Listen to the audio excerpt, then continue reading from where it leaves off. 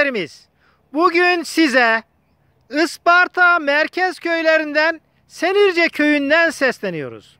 Burada Özbay Tarım'ın elma bahçesindeyiz. Özbay Tarım, Sait Bayındır Beyefendi'ye ait bir bahçe. Bu bahçe e, burada yaklaşık 1000 dekar gayet modern bir şekilde tesis edilmiş. Ee, e, genellikle yarı bodur. Üstü değişik çeşitlerden oluşuyor. Bazen Red Chief var, Jeromin var, değişik Golden çeşitleri var. E, Granny Smith'tir. Her çeşit elmadan burada mevcut. Gördüğünüz gibi üst tarafı filelerle kapatılmış gayet modern bir bahçe. Sulaması, gübrelemesi muntazam yapılan bir bahçe. Bu bahçede e, çalışan çok sayıda insan var. E, Sait Bey'in bahçesi sadece burada değil, Eğirdir, Gelendos ve Niğde'de de bahçe var. Sanıyorum toplam 3000 dekar civarında bir elma bahçesinden bahsediyoruz. Aslında elma bahçesi değil bunlar elma fabrikası diyelim.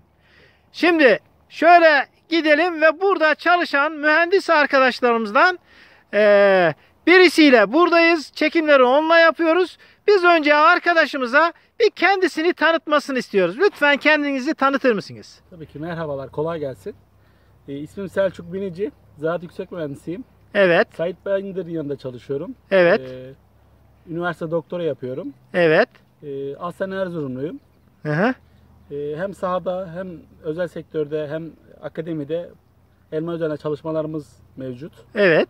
Burada e, modern terbiye sistemleriyle modern meyvecilik yapılmaktadır.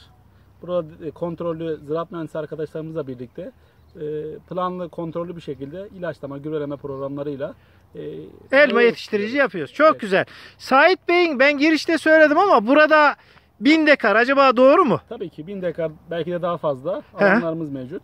Bazı bahçelere de biz e, bakıyoruz. Evet. Çevremize komşu olan bahçeler. Onların da tabii ki de yetersiz kaldığı noktalarda biz yardımcı oluyoruz. Çok güzel, çok güzel. Ee, şimdi e, burada elmalar hakikaten çok güzel. Gayet güzel bir mühendislik uygulanmış. Ee, gerçekten güzel. Ağaçların sürgünleri olsun, meyvelerin doluluğu olsun, rengi, kalite her şey gerçekten çok güzel.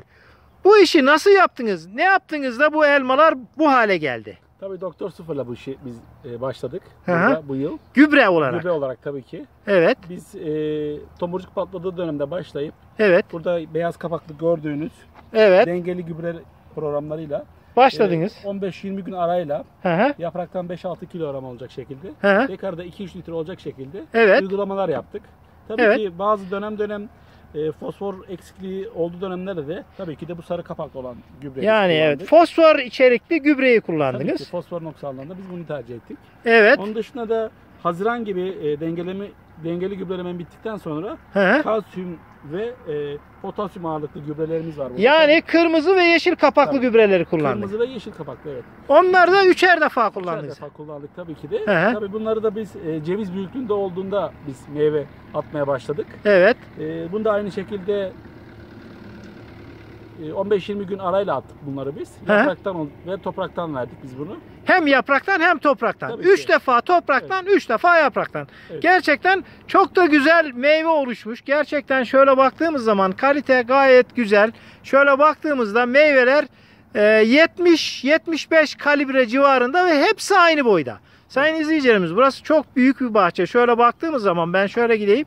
Bütün ağaçlar bu şekilde maşallah hakikaten e, nazar değmesin diyelim. Gerçekten çok güzel meyve e, oluşmuş. Evet. Ee, şimdi bir de meyvenin sertliği, rengi o da çok önemli. Tabii biz e, O meyve- konuda ne dersiniz? Meyve sertliği için, e, iriliği için de tabii ki de burada potasyum ve kalsiyume ağırlık verdik. Evet. Demir eksikliği gördüğümüz dönemlerde demir ağırlık, demir ağırlıklı gübreden kullandık. Evet. Biz bu gübreleri tabii ki de sezon başladığı andan itibaren kullanmaya devam ediyoruz. Evet. E, Şu an gördüğünüz gibi bahçelerde meyve tutumlarımız çok ciddi anlamda güzel. Güzel. E, Bunların e, devamlılığını neye bağladınız derseniz tabii ki de profesyonel çalışma sistemiyle bunun için de ne gerekli? Düzenli, kontrollü, planlı ilaçlama, gübreleme programlarıyla yapılıyor. Burada e, hasat başladı. Hı hı. Burada bir buçuk aylık, iki aylık bir e, zaman diliminde hasatımız olacak. Evet. Tabii ki de bu e, bizim için en güzel, en önemli dönem bu dönem. Yaptığımız işin, e, budamanın, ondan sonra gübrelemenin, ilaçlamanın meyvesini biz şu an alıyoruz. Neticesini göreceksiniz. Ki. Hakikaten de güzel olmuş. Yani bakın sayın izleyicilerimiz şöyle baktığımız zaman gerçekten bu tarafa da bakalım. Hangi tarafa bakarsanız bakın gayet güzel meyveler oluşmuş. Zaten ki, eee, Şöyle bir durum da var. E, şimdi gübre, gübrelemeye basit almamak gerekiyor. evet Bitkinin e, savunma mekanizmasını geliştirebilmesi için e, içerisinde tabii ki de azotu, fosforu, potasyumu, kalsiyumu yeterli düzeyde olması gerekiyor. Eğer bu tarz noksanlıklar yaşandığı zaman bitki savunmasını yitirip hastalık zararlara daha ko- kolay bir şekilde yakalanabiliyor. evet. Biz bunun önüne geçebilmek için hı, düzenli bir gübreleme programı yaptık. Evet. Bunun sonuçlarında bahçelerimizin tümünde uyguladık Evet. ve çok ciddi güzel sonuçlar aldık. Evet. Tabii bu Doktor Sıfır'ın katkılarından dolayı kendilerine çok teşekkür ediyoruz. Biz de sizlere teşekkür ediyoruz. Gerçekten Özbay Tarım Bayındır e, genellikle Bayındır olarak biliniyor. Bayındırlar olarak biliniyor. Evet. Gerçekten e, güzel iş yapmış. Evet. Said abinin bahçesi hakikaten çok güzel.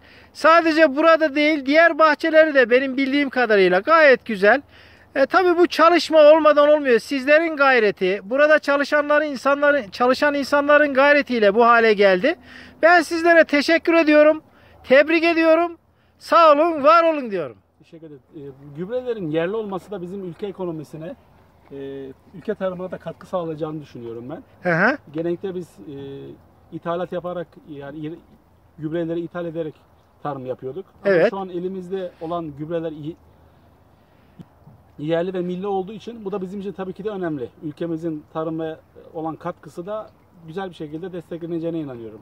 Ben sizlere teşekkür ediyorum. Ben teşekkür ederim. Hoşça kalın, sağlıcakla kalın. Görüşmek üzere, iyi çalışmalar.